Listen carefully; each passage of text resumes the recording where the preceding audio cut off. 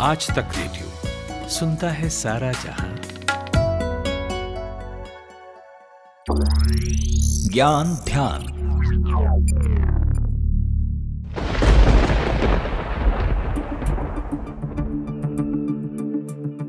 अरब सागर में बना चक्रवाती तूफ़ान बिपरजॉय गुजरात के तटवर्ती इलाकों से टकराना शुरू हुआ और ये प्रक्रिया करीब आधी रात तक जारी रही। लैंडफॉल की प्रक्रिया 15 जून आधी रात तक चलती रही। इस कारण यहाँ 115 से 125 किलोमीटर प्रति घंटे की रफ्तार से तेज हवाएँ चली और समंदर में ऊँची ऊँची लहरें उठी। यह अपने पीछे भारी तबाही छोड़ गया। जगह जगह पेड़ और खम्बे गिर गए। तूफ़ान के कारण भावनगर में दो लोगों की मौत हुई। बाईस ज़्यादा लोग घायल हुए। अब तक चौरानवे हज़ार लोगों को सुरक्षित स्थानों पर शिफ्ट किया गया है। जब भी साइक्लोन आते हैं, इस तरह की तबाही ज़रूर ही होती है। तो आज के ज्ञान ध्यान में हम आपको बताएँगे कि आखिर साइक्लोन क्यों आता है और आखिर क्यों अब इसके आने की जो फ्रिक्वेंसी है, वो बढ़ती जा रही है। साइक्लोन तीव्र है या मध्यम है, ये भी कैसे तय किया जाता है? नमस्कार, मैं हूँ खुशबू कुमार और आप सुन रहे हैं आज तक रेडियो पर ज्ञान ध्यान।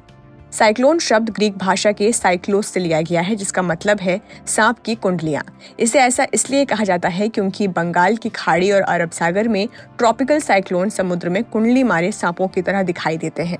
चक्रवात एक गोलाकार तूफ़ान यानी सर्कुलर स्टॉर्म होते हैं, जो गर्म समुद्र के ऊपर बनते हैं। जब ये चक्रवात ज़मीन पर पहुँचते हैं तो अपने साथ भारी बारिश और तेज हवाएँ लेकर आते हैं। ये हवाएँ उनके रास्ते में आने वाले पेड़ों, गाड़ियों और कई बार तो घरों को भी तबाह कर सकती है। जब किसी चक्रवात की गति 31 किलोमीटर प्रति घंटे या उससे कम होती है तो इसे लो प्रेशर एरिया के रूप में जाना जाता है। जब चक्रवात की गति 31 से उनचास किलोमीटर प्रति घंटे होती है तो इसे डिप्रेशन के रूप में जानते हैं। जब ये 50 से इकसठ किलोमीटर प्रति घंटा की गति तक पहुँचता है तो इसे डीप डिप्रेशन कहते हैं। जब हवा की गति बासठ से अट्ठासी किलोमीटर प्रति घंटे तक पहुँच जाती है तो ये तूफ़ान बन जाता है। और जब ये 89 से 118 किलोमीटर प्रति घंटे की रफ्तार तक पहुँच जाता है तो ये गंभीर चक्रवात बन जाता है। 221 किलोमीटर प्रति घंटे से कम और 119 किलोमीटर प्रति घंटे से अधिक की गति को अत्यंत गंभीर चक्रवात कहा जाता है।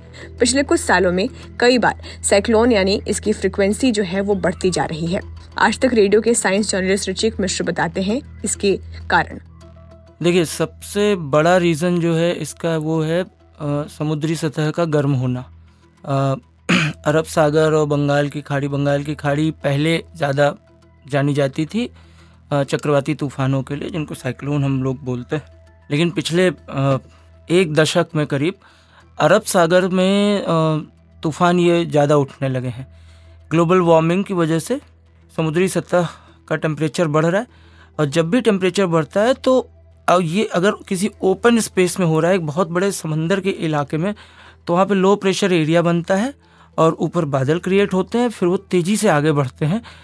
और दिशा हमेशा आप ध्यान दें तो आप अगर कभी हवाओं के चलने का नक्शा देखेंगे तो इस सीज़न में अमेरिका की तरफ़ से अगर हम नक्शे के हिसाब से बताएँ तो अमेरिका की तरफ़ से हवाएँ आती हैं पूरब की तरफ़।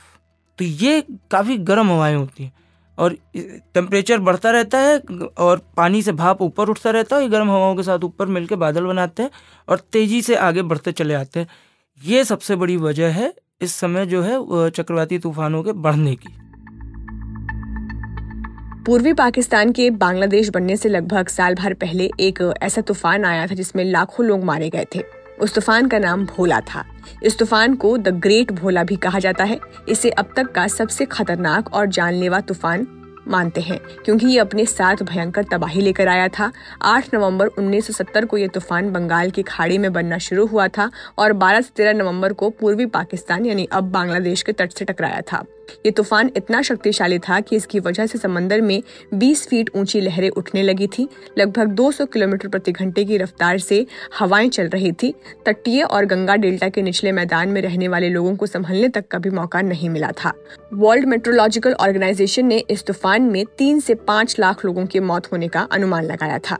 दूसरा तूफ़ान है हैमपोंग तूफ़ान। इसने करीब तीन लाख लोगों को मौत के मुँह में धकेल दिया। साइक्लोन 27 दिसंबर अठारह सौ इक्यासी से शुरू हुआ था और 8 अक्टूबर को सबसे अधिक नुकसान पहुँचाया। फिर है कोरिंगा साइक्लोन। भारत में आया था अठारह सौ उनतालीस में। मौत का आंकड़ा तीन लाख पच्चीस नवंबर अठारह सौ उनतालीस को आंध्र प्रदेश के कोरिंगा में आए इस साइक्लोन ने करीब पच्चीस हज़ार जहाजों को भी बर्बाद कर दिया। इस साइक्लोन के दौरान चालीस फीट ऊँची लहरें उठ रही थी। बैकरगंज साइक्लोन बांग्लादेश में आया था अठारह सौ छिहत्तर में। मौत का आंकड़ा दो लाख उनतीस अक्टूबर से लेकर एक नवंबर अठारह सौ छिहत्तर तक। इस साइक्लोन ने कहर मचाया था, करीब आधे लोग साइक्लोन के साथ बह गए, जबकि आधे लोग बाद में भुखमरी की वजह से मर गए। अब कुछ उन बड़े साइक्लोन पर नज़र डालते हैं जो पिछले दस सालों में आए हैं। चक्रवात ताउते, एक बेहद गंभीर चक्रवात था। इसने 17 मई 2021 को गुजरात के दक्षिणी तट पर दस्तक दी थी। उस समय देश कोविड 19 की दूसरी लहर से जूझ रहा था। US joint typhoon warning centre के मुताबिक इसने एक किलोमीटर प्रति घंटे की अधिकतम निरंतर हवाओं को पैक किया। इसने देश के पश्चिमी तट को प्रभावित किया था। इस चक्रवात में सौ से अधिक लोगों की मौत हुई थी। साल 1999 के ओडिशा के सुपर साइक्लोन के बाद बंगाल की खाड़ी के ऊपर पहला सुपर साइक्लोन अम्फान आया था। अम्फान ने 20 मई 2020 को पश्चिम बंगाल में सुंदरबन के पास दस्तक दी थी। इस चक्रवात की वजह से भारत में लगभग 14 अरब अमेरिकी डॉलर का आर्थिक नुकसान हुआ था और एक सौ उनतीस लोगों की मौत हुई थी। चक्रवात फेनी ने 3 मई 2019 को ओडिशा में पुरी के पास 175 किलोमीटर प्रति घंटे की रफ्तार से भारत के पूर्वी तट पर दस्तक दी थी। इस अत्यंत गंभीर चक्रवाती तूफ़ान ने चौसठ लोगों की जान ली थी। चक्रवात वर्दा ने 12 दिसंबर 2016 को चेन्नई के पास दस्तक दी थी। इसे एक बहुत ही गंभीर चक्रवाती तूफ़ान के रूप में चिन्हित किया गया था। वर्दा ने तमिलनाडु में 18 लोगों की जान ली थी। चक्रवात हुदहुद ने 12 अक्टूबर 2014 को आंध्र प्रदेश और ओडिशा के तटीय क्षेत्रों में तबाही मचाई थी। चक्रवात ने लगभग 124 लोगों की जान ली थी। चक्रवात फेलिन ने 12 अक्टूबर 2013 को फेलिन गंजम ज़िले के गोपालपुर के पास ओडिशा के तट से टकराया था, जिस समय चक्रवात टकराया, उस समय हवा की गति लगभग 200 किलोमीटर प्रति घंटा थी।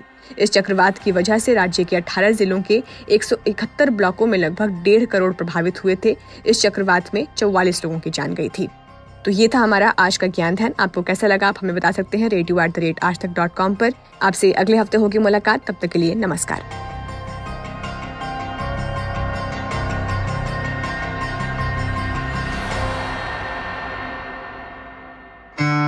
हेलो मैं रवि शेरगिल आपसे मुखातिब हूँ। पॉडकास्ट की दुनिया में गोता लगाना चाहते हो तो कान लगा कर सुनिए आज तक रेडियो।